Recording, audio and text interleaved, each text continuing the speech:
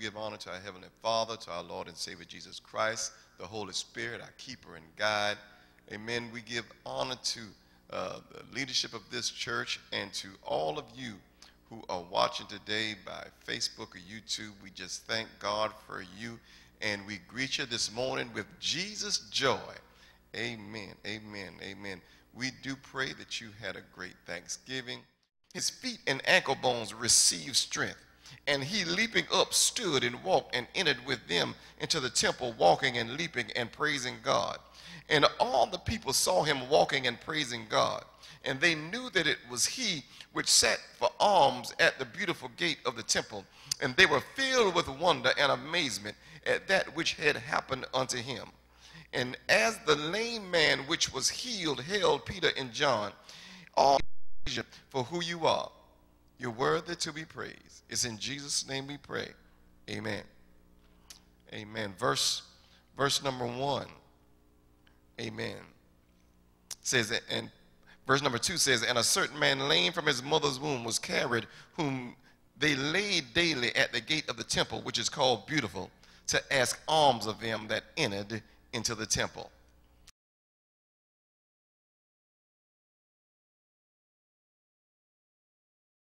In his post-game interview, Coach Spurrier had a surprising message for Gamecock fans. He said, please don't clap if we get beat. Coach Spurrier was saying, if you celebrate losing, you can get comfortable there and it will hinder the desire to get better. So if we're going to build a culture of winning, if we're going to come out of the culture of losing we're stuck in, we can't get comfortable where we are. You, you, you do know that it is possible to get comfortable in a place where you're stuck. The prophet Jonah uh, is a prime example of this. You, you remember God told Jonah to go to Nineveh, but, but he went to Joppa and hopped a ship down to Tarshish. And when the ship got out to sea, it arose a great storm, and the entire crew was afraid. But, but Jonah was down in the ship fast asleep. Uh, the, the captain came to Jonah and said, How can you sleep? in the middle of a storm. But Jonah was able to sleep because he had got comfortable in the mess he was stuck in. You, you don't have to say anything, but, but this is somebody's word in here uh, uh, this morning. To, to, to, many of us, too many of us are stuck in bad situations, stuck in jacked up circumstances, stuck in a dilemma, stuck in a position, predicament, or a problem simply because you have gotten comfortable where you are. Now, now, here in, in the third chapter of Acts, is where we find what, what many believe to be the first miracle performed by the apostles uh, after the ascension of Jesus Christ. Uh, this miracle took place at the gate of the temple, which is called Beautiful. The, the, the, Jewish historian Josephus described the gate as being made of fine Corinthian brass. It stood 75 feet high with huge double doors. It was so beautiful that it greatly excelled those that were only covered over with silver and gold. Our text tells us that at this gate called Beautiful, that a certain man lame from his mother's womb is carried and laid at this gate daily to bed. Now, now this man was in a beautiful place, but he had an ugly problem. Have you ever been in a, in a beautiful place but, but had an ugly problem? You finally got the house, got it all fixed up, but you're in an ugly financial situation. You finally got the job you wanted, but now there's some ugly confusion going on. You and Jim have finally gotten to where you can enjoy one another, but now you're sick. Have you ever been in a beautiful place but stuck in an ugly problem? Now, now let's take a look at, at this text and, and see why uh, that this man is stuck at this gate. Now, now, the most obvious reason he was stuck at the gate is, is he was lame. Lame means his, his legs were inadequate. His legs were insufficient. His, his legs were incompetent. Is there anybody listening who, who can relate to this lame man? Although you may not be lame in your legs, you're lame in another area of your life. You're lame in your finances and you're stuck in debt. You're lame in your health and you're stuck in sickness. You're lame in your social life and you're stuck in loneliness. Does anybody know what it's like to be lame and stuck? Mm. The text says, the text says he was lame from his mother's womb, and they laid him at the gate daily. I, I believe that, that he, he was stuck at the gate because he had been in that condition so long, he had given up hope of getting delivered. Hmm. He had accepted his circumstances. He had accepted his situation. He had said to himself, This is the way it's always going to be. What do you do when you've been in a situation so long, uh, you've gotten used to it. Uh, when you've been in a situation so long, uh, you've adjusted to it. When you've been in a situation so long, it's become a way of life. There may be somebody watching today who, who have been in a condition a long time. You've been broke so long. You, you've been unemployed so long. You've been lonely so long. You've been on drugs so long. But, but my brother, he would always order a Big Mac without cheese. Mm. And, and I would get mad because a Big Mac without cheese was a special order. And, and, and, I was thinking, if you didn't want cheese, all you had to do was take the bun and take the cheese off the, burger, off the burger. But because it was a special order, we had to pull over to the curb and wait. And, and, and somebody would walk it out to the car while everybody else who got their food passed us by. God told me to tell somebody watching this morning that the deliverance you've been praying for is a special order. Not because he has to prepare the deliverance for you, but because you've been in this condition so long, he has to prepare you for your deliverance. So he allowed you to be pulled over to the curb of life and watch everybody pass you by while he prepares you for your breakthrough. Uh, but I've got good news for somebody. It doesn't matter how long you've been in your condition, Jesus can still deliver you. Lazarus was in the grave four days and he delivered him. The woman with an issue of blood had her, her issue 12 years, but he delivered her. The man at the pool of Bethesda laid there 38 years and he delivered him. And if you put your faith in him, he'll deliver you too. He'll deliver you out of every bondage. He'll deliver you out of every trial. He'll deliver you out of every stronghold. Is there anybody listening right now that our God is a strong deliverer? Mm. Now, now this man, this man, this man was stuck at the gate because he stayed at the gate. this man was stuck at the gate simply because he stayed at the gate. He, he never made any effort to go any further than the gate. He, he was at the church, but he wasn't in the church. At the gate, he had, he had one foot in and one foot out. At the gate, he was in the world and in the church. You, you, see, too many folk are still stuck in their mess because they won't make any effort to go further than church attendance. They won't go any further in their commitment. They, they won't go any further in the word. They won't go any further in their service. And, and, this, and, and so I'm reminded of a story about a little boy who kept falling out of bed. He, he, would at night his mama would, would tuck him in the bed and, and, and about two or three o'clock in the morning he, you'd, he'd hear something go boom, boom, boom. And he said oh mama mama i fell out of bed. And, and so and so mama would get up and, and she would run in get him up off the floor and put him back in the bed. Next night about three or four o'clock in the morning boom, fell out of bed again he's hollering mama mama mama I, I fell out of the bed Mama gets up out of the bed. She goes in. She picks him up. She fall, he, and she puts him back into the bed. And next night, two, three o'clock in the morning, boom, he falls out of bed again. Mama, mama, I fell out of the bed. I fell out of bed. Mama gets up. She goes in and she, she puts him in the bed and she tucks him back in. And, and, and while mama was tucking him in, he, he said, he said, Mama, mama, I fell, why do I keep falling out of the bed? He said, Mama, I'm so tired of falling out of the bed. Why, why do I keep falling out of the bed? And mama said, son, that's simple. You never got far enough in. You see, see, that's why we have so many folks who are in the church one minute and out of the church the next minute. In the word one minute, out of the word the next minute. Committed to the kingdom one minute, out of the kingdom the next minute.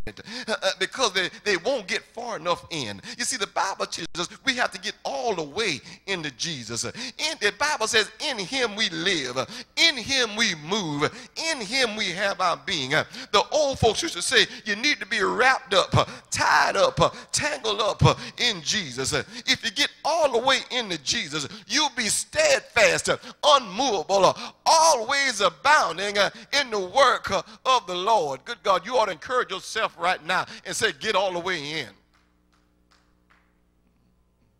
Now, now, now, now that, that we know how, how the man got stuck at the gate, let, let's see what he did to get out of the ugly situation he found himself stuck in. The text says, as Peter and John went into the temple, the man asked them of alms. Peter told him, Look on us.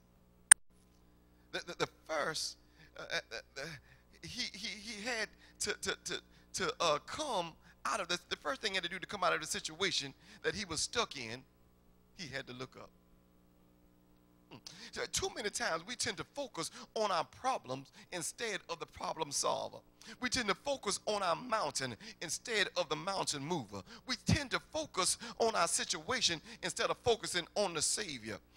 You remember, you remember, uh, you remember Peter and, the disciples. Uh, the Bible said one time they were out at sea and, and a great storm arose and, and, the, and, the, and the boat began uh, to be tossed and turned uh, uh, in the storm. And, and the Bible says that, that, that, that they feared that they were going to perish. And the Bible says it was then that Jesus came walking to them on the water. And when Jesus came walking to them on the water, it was Peter who stood up and looked and said, uh, uh, Master, if it be you, bid me to come. And, and the Lord gave him one word come. And the Bible says Peter stepped out of the boat and he began to walk on the water. He began to make progress on the water. He was making his way to Jesus on the water. But, but then the text says the wind got boisterous and it began to blow his garment. And, and he took his eyes off Jesus and began to look down at, at his garment, which, which represented his troubles. And, and, and, and so when he did that, the Bible says that Peter began to sink. Mm. Mm. He, he, he began to sing. And, and, so when, but, and he began to sing, and then he reached his hand up and looked toward Jesus said, Master, save me. Jesus reached down and grabbed his hand and, and, and, and pulled him up. Uh, but, but, but, but I don't know about you, uh, but, but we need to understand that many times uh, we, we're sinking because we've taken our eyes off of Jesus. Many times we've taken our eyes off our troubles, uh, off Jesus, and put our eyes on our troubles. I don't know about you, but I'm going to look to the hills uh, from which cometh my help. Uh, the Bible says, Lift up your heads, uh, O ye gates, and be ye lifted up, ye everlasting doors, and the King of glory shall come in. Good God, you need to encourage yourself and just say, Self, look up. Now, now the text says, the text says that the man gave heed unto them expecting to receive something of them. Hmm. So, so, so the next thing the man did to come out of his situation he was stuck in, he expected to receive something. He expected to receive something. How many of us come to church Sunday after Sunday? How many of us tune in to church Sunday after Sunday? Revival after revival, not expecting to receive anything from the Lord. Just in a routine, just, just, just expecting to come. But but but but but you remember Jesus. Jesus was, was, was at a wedding one day, and, and and the Bible says at the wedding uh, that they ran out of wine. And, and, and, and Mary, Jesus' mother, came to him and said, said, said, they have run out of wine. And, and Jesus said, what, what, in other words, what, what that got to do with me? This ain't my wedding, I ain't getting married. And, but then Mary turns to the servants and says, whatever he says, do it. Hmm. Now, now, because because Jesus didn't say he was going to do anything. But, but she told the servants, whatever he's tell you to do, do it. Yeah, yeah. And, and so, so, so, so uh, she didn't know what he was going to do, but she knew he was going to do something. Mm. You see, regardless of the situation you find yourself in, this is the type of relationship you ought to have with Jesus. You don't know what he's going to do, but you ought to expect him to do something. I don't know how he's going to fix it, but I expect him to do something. I don't know how he's going to make it better, but I expect him to do something. I don't know how he's going to make it right, but I expect him to do something. If the check don't come, I expect him to do something. If the job closes down, I expect him to do something. If the doctor says he's done all he can do, I expect him to do something.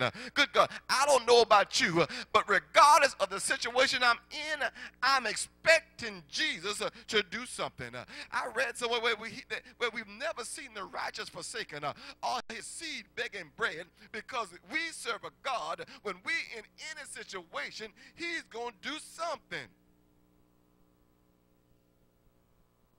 Now Peter, Peter then took the man by the hand and lifted him up.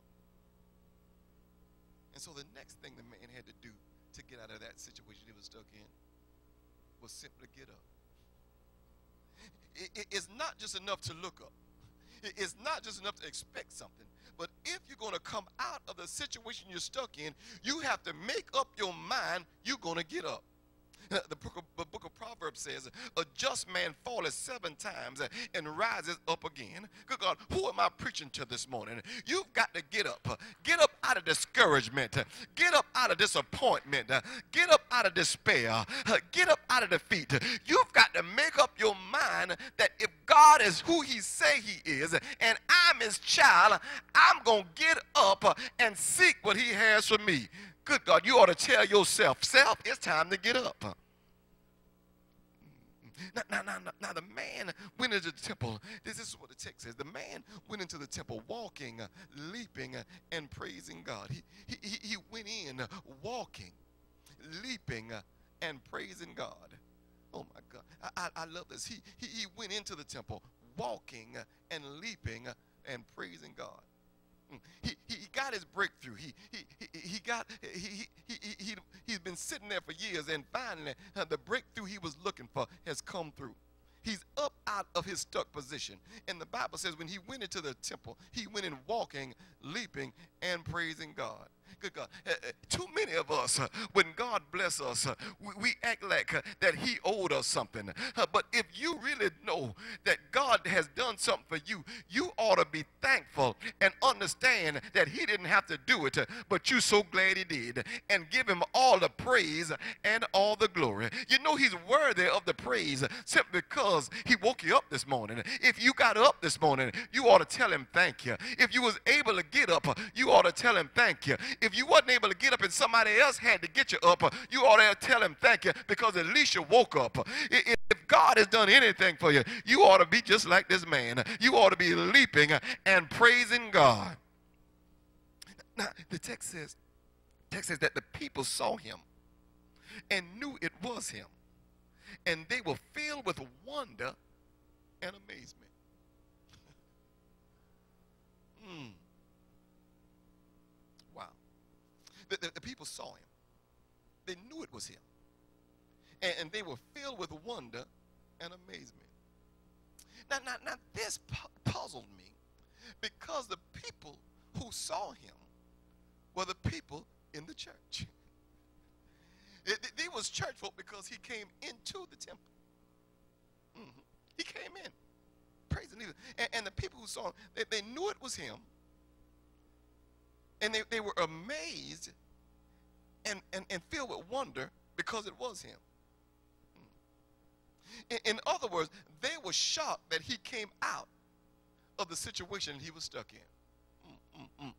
How, how, how many of y'all know uh, uh, that, that, that, that many times folk will look at you and say they, they, they will give up on you. They, they, they will throw in the towel on you. They, they, they'll say you never amount to anything. Uh, and they, they, they believe uh, that you won't come out of what you're stuck in. Uh, but, but how many of y'all know that we serve a God who's able to do wonders? Uh, he's looking for somebody ordinary right now to do something extraordinary through. That's what God does. He takes ordinary people and does extraordinary things. You know what? You know what? You ought to let some folk know. Don't laugh too soon. Don't give up on me too soon. Don't throw in the towel too soon because the situation I'm in is not a permanent situation. Uh, uh, it, it, it, I'm going on my way to my destination. Uh, you ought to thank God that He's able to pick you up and turn you around, place your feet on solid ground. I heard the old folks say, He'll take your feet out the miry clay and place them on uh, a rock to stay. Uh, uh, don't you get stuck in any situation. As long as Jesus is on the throne, as long as Jesus has all power, as long as Jesus is still answering prayers, you ought to know that whatever you're stuck in, you're able to come out of it. You ought to say to yourself right now, self, I refuse to stay stuck. I'm getting up from where I am. I'm getting up and I'm going forward. I'm pressing my on unto the mark of the high calling in Jesus Christ. Is there anybody listening uh, who is stuck in any kind of situation willing to get up and go on to your destiny? Because we serve a God who's able to do anything but fail. Hallelujah. Hallelujah. We thank you today. We thank you. We thank you that you tuned in. And I pray that the word, that this word from God met you at the point of your need. I pray that, that if there's somebody who's listening who, who feels stuck in any situation, whether it be a bad relationship, debt, uh, illness, know that we have a God who can bring you out. And usually at this time we just do a, a, a prayer and for everybody, but, but, but at this point right now, I want to pray for somebody who's feeling stuck, that feels like they have no way out, feels like you, you have no other alternative but to stay where you are. I want to pray for you this morning. Let us bow our head. Heavenly Father, we come right now. Lord God, we thank you because we know that you have all power in your hand. Lord God, we thank you because we understand that regardless of what it looks like around us, we know that you're still in control. Right now, God, we're coming to you right now, asking you, first of all, forgive us of all our sins. Anything we've done that wasn't pleasing in your sight, forgive us right now in the name of Jesus. Lord God, we ask that you would cast it far as the east is from the west. Look on our hearts, clean it up, God, in the name of Jesus. Lord God, we want to ask right now that there be somebody who's listening, God, who's stuck in a situation that they feel that they can't get out of. We can ask right now, God, that you would that you would touch them right where they are, that they will feel your presence right where they are, that they would feel your presence and understand and, and take this uh, as a sign that it's time to get up and time to move on. Lord God, we ask right now that you would take them by their hand, that you would lead and guide them, oh God, that you would open doors right now that no man could shut, that you would that you would give them favor, oh God, in places uh, with, with, man that they need favor, oh God, whether it be a person in in, in HR that, that touch them right now, that somebody who's stuck in unemployment that, that needs a job, give them the favor right now with that HR rep. Oh God, there may be somebody stuck in an illness, oh God. We ask right now that you would touch their body.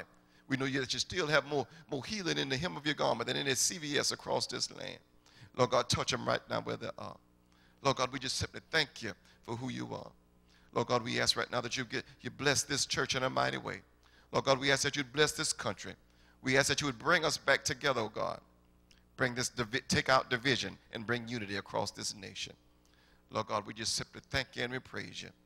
We thank you for who you are, and we thank you for what you're going to do. It's in Jesus' name we pray. Amen. Hallelujah.